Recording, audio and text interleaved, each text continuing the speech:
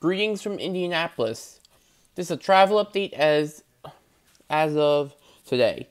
I will not be going to Greenwood Park Mall due to time constraints. I'm only able to go to Fashion Mall Keystone.